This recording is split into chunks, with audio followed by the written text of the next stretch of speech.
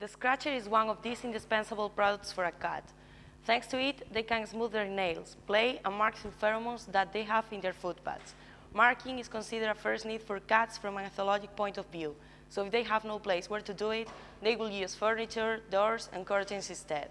The scratcher by Wuapu has a place where the cat can take shelter or a platform where it can rest, since it is covered by the smooth cape of thin hair.